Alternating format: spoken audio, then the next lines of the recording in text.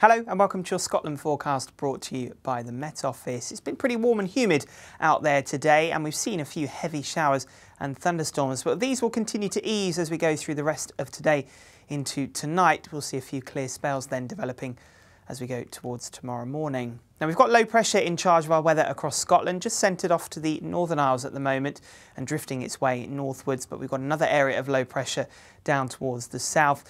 So it stays fairly mixed over the next few days. We've got fairly light winds. You can see barely an isobar on the chart. So some of those showers and thunderstorms will be pretty slow moving through Tuesday.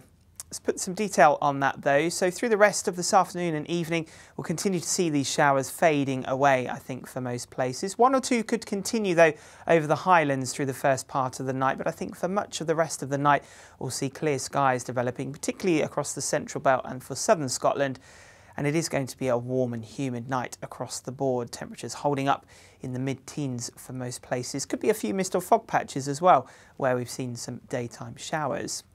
Through Tuesday morning, though, plenty of sunshine across the south first thing. Quite a lot more cloud further north, though, and quite misty around the Northern Isles.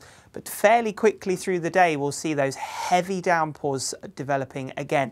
And we do have a risk of thunderstorms then into the afternoon, so the Met Office have issued a warning for thunderstorms through the day. Where we see those thunderstorms, they could be slow moving, giving a lot of rain in a short space of time. So do expect the risk of some flash flooding, some large hail is possible too. Temperatures still getting into the mid 20s in a few places, but a little bit cooler perhaps across the west than it is today.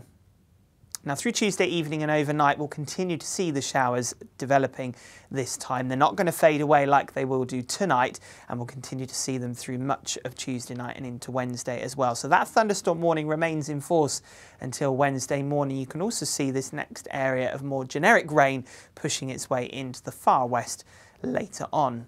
So things remain fairly mixed and fairly unsettled through this week. For Wednesday, it's going to be another day of sunshine and heavy thundery downpours. Temperatures starting to come down though, nearer to normal for this time of the year. I'll see you soon. Bye bye.